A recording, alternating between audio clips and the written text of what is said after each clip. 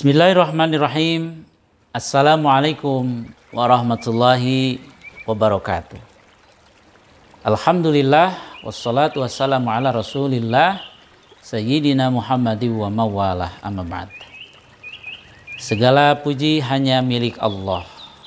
Segala puji hanya milik Allah yang telah menciptakan langit dan bumi, yang telah menciptakan kita semua Segala puji bagi Allah yang telah memberikan pasangan hidup kepada kita, yang telah memberikan anugerah keturunan pada kita. Masya Allah, subhanallah. Mudah-mudahan kita menjadi hamba-hamba yang pandai bersyukur kepada Allah, sekalipun katakanlah nikmat itu seperti kecil, tapi tentunya sekecil apa pun kita tidak bisa dan kuasa menghadirkan nikmat kepada kehidupan kita. Karena itu semua dari Allah Subhanahu wa taala. Salawat dan salam mari kita sama-sama sanjungkan kepada Nabi besar Muhammad sallallahu alaihi wasallam kepada seluruh keluarganya, seluruh para sahabat dan para pengikutnya yang setia terhadap ajaran beliau sampai akhir zaman. USG selalu mengajak kepada sahabat kurma semuanya, marilah kita untuk meneladani Rasulullah hadirkan Rasulullah dalam kehidupan kita, bicara kita, perbuatan kita, sikap kita, sedikit-sedikit meneladani bagaimana Rasulullah beraktivitas dalam kesehariannya. Karena kita punya filosofis bahwa dalam sunnah itu ada kejayaan. Kejayaan itu kan kebahagiaan. Kejayaan itu adalah kesuksesan. Kejayaan itu adalah keselamatan. Kejayaan adalah hikmah.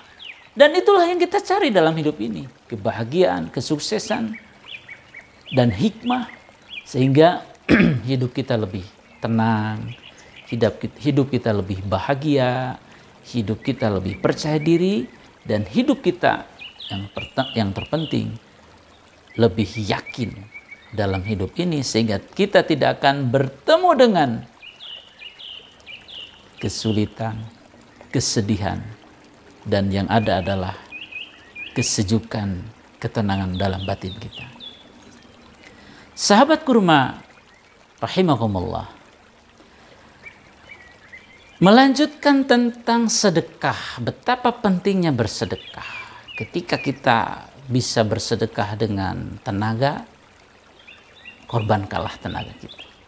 Ketika kita bisa bersedekah dengan ilmu kita, korbankan ilmu kita. Ketika kita bersedekah dengan harta kita, keluarkanlah. Karena sedekah itu luar biasa. Sahabat fillah rahimakumullah. Ada hal yang menarik juga. Ada kalimat dalam hadis Nabi Muhammad sallallahu alaihi wasallam, "Wa tumitul ada anitarik fa innalahu sadaqatan. Membuang sampah, membuang kerikil, membuang batu yang membahayakan di jalan fa innalahu sadaqatan. Maka itu termasuk sedekah.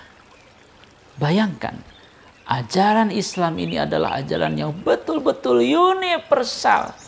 Sampai ketika kita berjalan di suatu jalan lalu ada sampah yang membahayakan ada apa namanya bekas pisang sehingga ketika orang terinjak akan jatuh ada paku sehingga ada motor sepeda lewat akan membahayakan. Lalu kita ambil. Fa innalahu sadaqatun subhanallah.